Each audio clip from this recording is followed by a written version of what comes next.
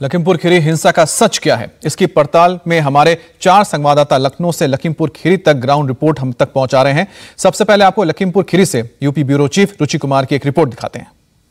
लखीमपुर का ये तिकोनिया इलाका है और यहाँ भारी तादाद में किसान जमा हैं। उत्तर प्रदेश के कोने कोने से यहाँ किसान पहुँचे हैं। बहुत भीड़ है। जिन किस, चार किसानों की कल जान गई है, उनके शव रख के यहाँ शांति पाठ किया जा रहा है। ये सामने वो गाड़ी है, थार, जिसको जलाया गया है। ये रोड से नीचे गिर गई है। चारों तरफ़ यहाँ पे बिखरी हुई चप्पल दिख रही हैं, कपड़े पड़े हुए हैं, जो बता रहे हैं कि यहाँ पर कल क्या हुआ था। तो हालात काफ़ी तनावपूर्ण हैं। भारी मात्रा में यहाँ पुलिस तैनात है। यूपी के ADG law and order Prashant Kumar पूरी रात यहाँ रहे हैं और जो आईजी रेंज हैं वो यहाँ पर मौके पर हैं। एडीजी जोन लखनऊ जोन वो यहाँ मौके पर हैं। तो पूरी जहाँ तक ये जो सामने स्कूल है, जहाँ पे टिकैत इस समय बैठ के मीटिंग कर रहे हैं, क्योंकि किसानों का ये कहना है कि जो किसान मरे हैं, अभी उनका पोस्टमार्टम नहीं हुआ है तो जो टिकैत कहेंगे वही होगा। तो उनसे बातचीत चल रही है, प्रशासन समझाने बुझाने की कोशिश कर रहा है। इस बीच दोनों तरफ़ से एफआईआर हुई है। जो किसानों ने तहरीर दी थी, वो भी एफआईआर दर्ज कर ली गई है। और जो दूसरी तरफ़ से तहरीर दी गई थी जैसा केंद्रीय गृह राज्य मंत्री अजय मिश्रा बता रहे थे कि कुछ अराजक तत्व यहाँ पर आ गए थे जिन्होंने गाड़ी पर हमला कर दिया और गाड़ी गिर गई और उनके चार लोग मर गए। तो दोनों तरफ़ से एफआईआर की गई है, पूरे मामले की जाँच की जा रही है। कैमरामैन राजीव राय के साथ रुचि कुमार, इंडिया टीवी, लखीमपुर। किसान नेता राकेश टिकैत ने भी केंद्रीय मंत्री अजय मिश्रा को बर्खास्त करने की मांग की। हमारे संवाददाता कुमार सोनू ने राकेश टिकैत से बात की। नेता राकेश टिकैत हमारे साथ हैं। साथ में राकेश जी जो लखीमपुरी घटना है किस तरह से देखते हैं? पहला रिएक्शन आपका क्या? गलत हुई पूर्ण रूप से? राकेश जी इसमें मांगे आप लोगों की तरफ़ से क्या है? मांगे क्या है? अरे मांगे हमारी ये है कि उनको मुआवजा मिले मंत्री बर्खास्त हो। हाँ। इनके खिलाफ एफआईआर दर्ज हो जो इसमें दोषी है और सब लोगों को मुआवजा मिले जो इस घटनाक्रम में जिनकी डेथ हुई है। कितना मुआवजा कितनी मुआवजा हमने एक करोड़ रुपए मुआवजा कहा। हाँ और, आठ डेथ इसमें हुई तो सबको मुआवजा मिले बराबर। अच्छा, सबको नौकरी मिले। मंत्री और उसके बेटे के खिलाफ उसके बेटे के खिलाफ वो जेल में जाएँगे दोनों। मंत्री एक सौ बीस बी का मुलजिम है वो तीन सौ दो का है। हाँ। सरकार से बातचीत आपकी हो रही है? किस हाँ, तरह से किस क्या रुख है सरकार का अभी? सरकार अभी अधा पता लेने जा यहाँ बात करने में फिर बात चले जा फेरा में फिर चले जा। हाँ। बता नहीं कुछ अभी। लग रहा है सकारात्मक बात हो रही है या फिर अभी समय लगेगा?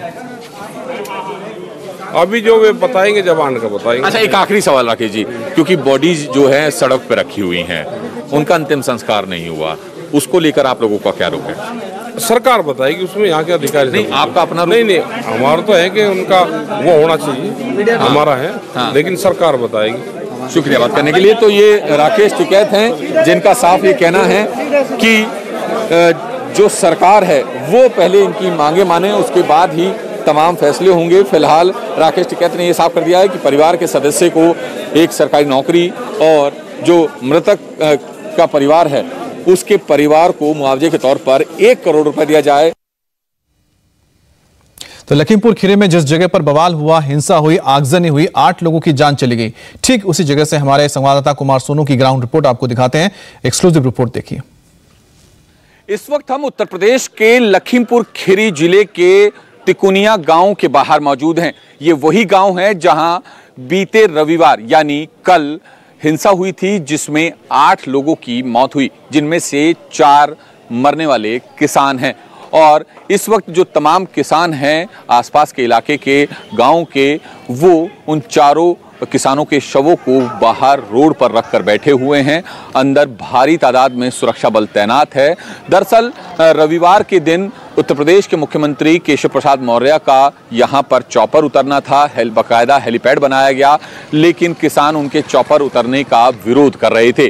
और उसके बाद वो विरोध इतना बड़ा कि मामला हिंसा तक पहुँच गया और फ़िलहाल किसानों का आरोप है कि जो गृह राज्य मंत्री हैं, केंद्रीय गृह राज्य मंत्री, उनके बेटे ने गाड़ी से किसानों को रौंदा, जिसके चलते चार लोगों की मौत हो गई, जिसके बाद हिंसक झड़प हुई। तो दूसरी तरफ़ के भी चार लोग चार लोगों की मौत हो गई। फ़िलहाल इस पूरी घटना के बाद इलाके में तनाव का माहौल है और तनाव को देखते हुए खुद उत्तर प्रदेश के जो एडीजी लॉ एंड ऑर्डर हैं, प्रशांत कुमार, वो इस वक्त मौके पर हैं। इसके अलावा कई आईपीएस अधिकारी, कई आसपास के जिलों की पुलिस एसएसपी डीएसपी डीएम वो यहाँ पर मौजूद हैं और भारी तादाद में सुरक्षा बल तैनात किया गया है ताकि किसी भी तरीके से लॉ एंड ऑर्डर की सिचुएशन ना बिगड़े। हालाँकि राकेश टिकैत, जो किसान नेता हैं, वो भी यहाँ पर आ चुके हैं, तिकुनिया गाँव में और लगातार उनकी बैठक चल रही है। प्रशासन के साथ एसएसपी डीएम आईजी रेंज और जो दूसरे बड़े आला अधिकारी हैं, उनके साथ चल रही है। साथ ही साथ अजय पाल शर्मा, जो कि उत्तर प्रदेश के आईपीएस अधिकारी हैं एसएसपी रैंक के अधिकारी हैं, उनको बकायदा पूरी स्थिति को नियंत्रण करने के लिए यहाँ स्पेशल भेजा गया है लखनऊ से।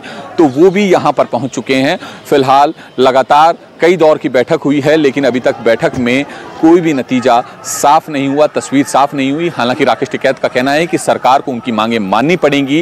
राकेश टिकैत का कहना है कि सरकार मृतक के परिवार वालों को एक एक करोड़ रुपए मुआवजा दे, सरकारी नौकरी दे और केंद्रीय गृह राज्य मंत्री को उनके पद से हटाया जाए और उनके बेटे के खिलाफ 302 का मुकदमा दर्ज किया जाए और इन्हीं मांगों को लेकर जो तमाम किसान हैं, वो मृतक चार किसानों के शवों को रोड पर रखकर बैठे हुए हैं। उनका साफ़ कहना है कि जब तक उनकी मांगे पूरी नहीं होगी, तब तक इन चारों के शवों का अंतिम संस्कार नहीं होगा। फ़िलहाल, तनाव को देखते हुए पैरामिलिट्री फोर्सेस के साथ साथ जो उत्तर प्रदेश पुलिस के जवान हैं, उनकी तैनाती लखीमपुर खीरी के तिकुनिया गाँव में कर दी गई है। इंडिया टीवी, हर वक्त। हर जगह डाउनलोड करने के लिए सर्च करें India TV news, Google play store या एप स्टोर पर।